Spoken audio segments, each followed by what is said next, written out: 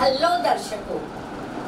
આજે હું બેલ્ઝો ટીવી તરફથી મીરા રોડના મહાવીર દર્શનમાં આવી છું અને અહીંયા આગળ ઈલાબેન તરફથી એન્જોય ગ્રુપ અને શ્રીજી ગ્રુપની ટીટી પાર્ટી એરેન્જ કરવામાં આવી છે. તો આ ગ્રુપ અત્યારે તમારી સમક્ષ સરસ મજાની ઇન્ટરેસ્ટિંગ અંતાક્ષરી રમીને તમારું દિલ બહેલાવવાની જરૂર કોશિશ કરશે. તો તમારી સમક્ષ અંતાક્ષરી શ્રીજી ગ્રુપ અને એન્જોય કીર્તિ ગ્રુપ અમે પ્રસ્તુત કરીએ છીએ બહુ સરસ મજાની અંતાક્ષરી. અને તમે બધા જોઈને વાહ વાહ કરશો એટલે અમને પણ બહુ ઉત્સાહ આવશે. અક્ષર આપણે આપણે શરૂ કરીએ છીએ અંતાક્ષરી. અક્ષર આપો. Two, અક્ષર આપો. અને આ બેન છે આ બે બેન છે હું આપું છું અક્ષર. સમજાવે છે અંતાક્ષરી માટે કેવી રીતે આપણે રમવાનું છે. હા નવી છે. હા. ઓકે ઓકે હા. આપણી બેન છે નયનાબેન જોશી. હા કે બે મિનિટ. અમે યુ ફાઉન્ડેશન ચેરિટેબલ ટ્રસ્ટ તરફથી આવ્યા છીએ. અહીંયા અને દરેક જગ્યાએ અંતાક્ષરી અને ગેમ્સ રમાડવા જઈએ છીએ. સાથે અમારા ચેરિટેબલ ટ્રસ્ટના ફાઉન્ડેશનનો પ્રચાર કરીએ છીએ. જેની અંદર આ છોકરાઓ હોશિયાર હોય, પણ ફક્ત આર્થિક પરિસ્થિતિના અભાવે ભણી ન શકતા હોય, તેને હાયર એજ્યુકેશન માટે અમે લોન આપીએ છીએ. અને એને માટેની અમે સ્કીમ રાખી છે કે દર મહિનાના સો રૂપિયા, બાર મહિનાના બારસો રૂપિયા. તમારો નાનો એવો વિદ્યાર્થીને ભણાવવામાં મદદ કરશે તો આપ સૌનો સાથ અને સહકારની અપેક્ષા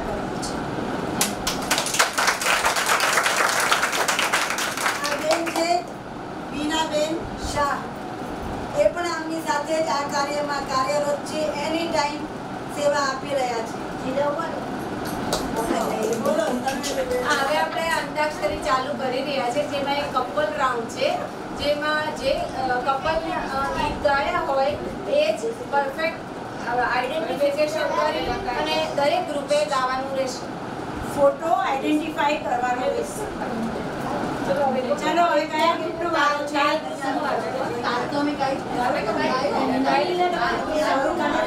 સંગમનો વારો છે સંગમવાળા આવી જાઓ. બોલો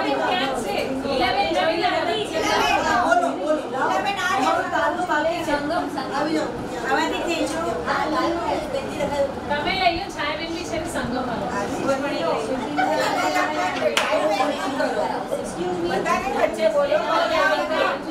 નીતુ સિંહ અને ઋષિ કપૂર ઋષિ કપૂર ગાવાનું છે ઓર એક ટુ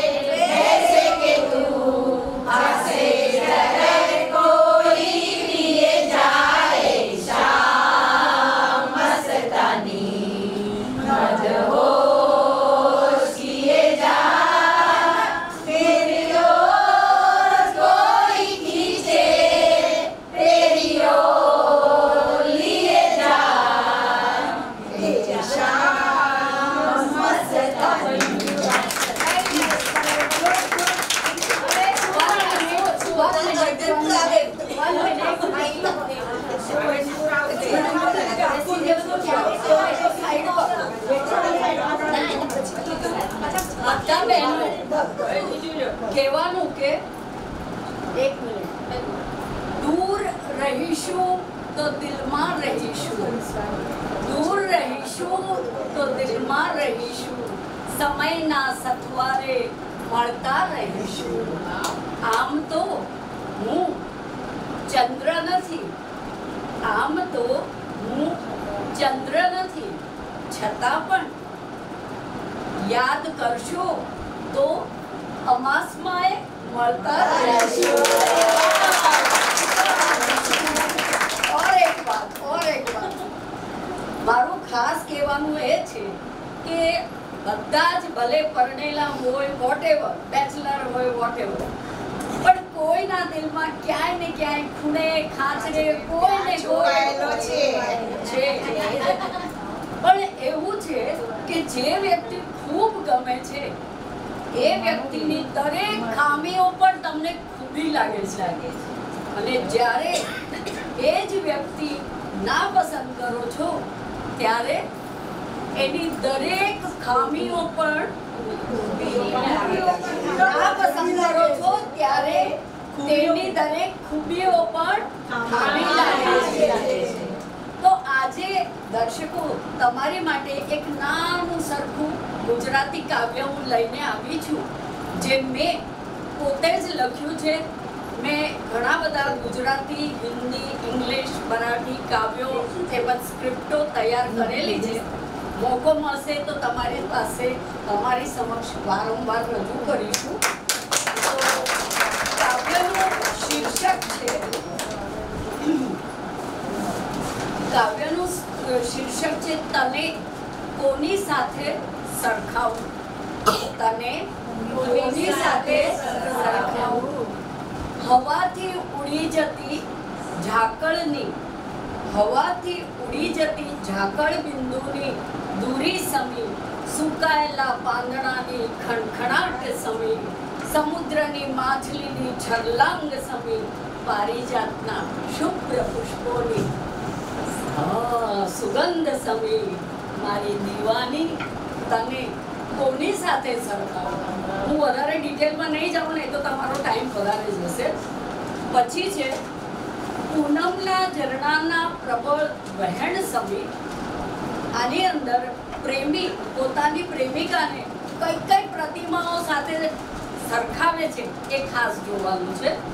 પૂનમના ઝરણાના પ્રબળ વહેણ સમી છીપલામાં સંતાયેલી કિંમતી મોતી સમી શેરડીના સાઠાની ઢેલી મીઠાશ સમી વાદળમાં ભરેલી ધીમ કાળાશ સમી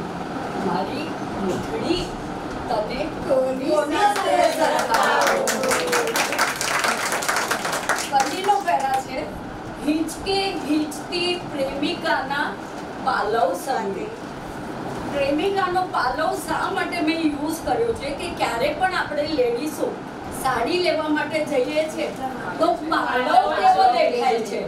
એની આપણી ખાસ એક ચોઈસ હોય છે. આખી સાડી ભલે સરસ હોય પણ પાલવ તો સરસ હોવો જોઈએ.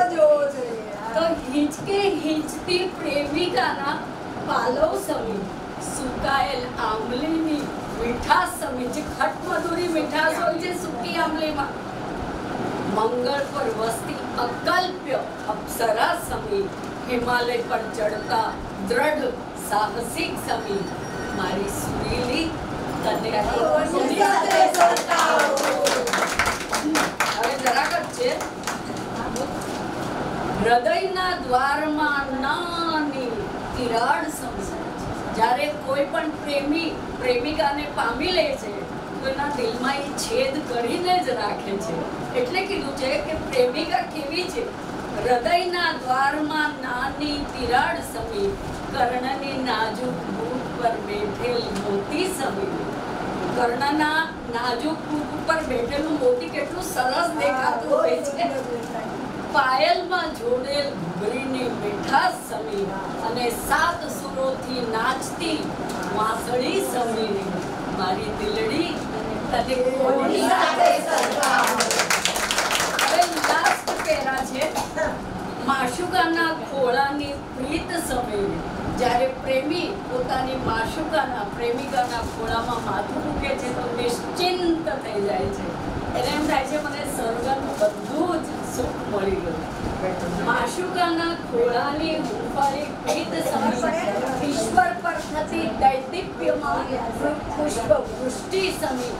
નિશ્ચિંત બનીને બાળક સમી અને છેલ્લે કહે છે, કુબેરના ભંડારની અમૂલ્ય ચાવી સમી મારી કિસ્મી સાથે સ્વર્ગ